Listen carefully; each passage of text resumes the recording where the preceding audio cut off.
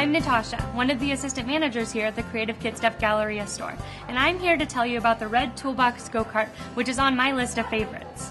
The Red Toolbox line is a wonderful line of toys that you get to build yourself.